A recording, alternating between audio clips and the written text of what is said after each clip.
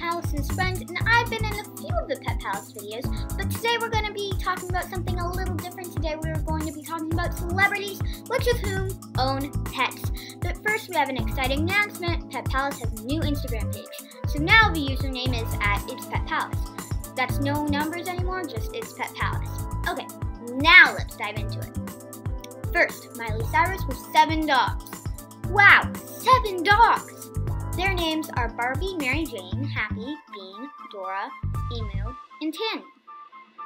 I think that's how you pronounce the names, but I'm not sure. And also, okay, well, that's not even it! She has two pigs, Pig, Pig, and Puddles, two horses, Pumpkin and Dumplin', and three cats named Lilo, Kiki, and Harlem. Wow. Okay, Ariana Grande. Ariana Grande has nine dogs. Nine dogs! Coco, Toulouse, Cinnamon, Strauss, Lafayette, Pignoli, Myron, Snape, and Lily. Oh, like in Harry Potter, Snape and Lily. Jojo Siwa.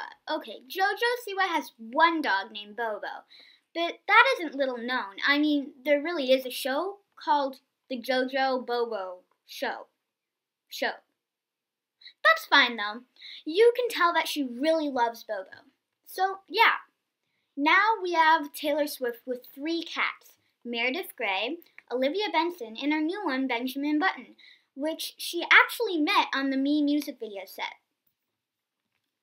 We have some more, but right now I want to talk to you about Kids News for You. Pet Palace is proudly teamed up with Kids News for You Kids who are watching, go to kidsnewsforyou.com. Please vet kidsnewsforyou.com. They will talk about everything from DIY activities and shows from the 80s to cool space theories and podcasts to listen to. You will love Kids News for You, so do us a favor and go to their website. That's kidsnewsforyou.com. Thank you. Now, let's resume. Ed Sheeran. Ed Sheeran has two cats named Dorito and Calippo. He has an Instagram account for them, even, and Hugh Jackman. Hugh has two dogs, one French bulldog named Dolly, and one named Allegra, which is a new puppy.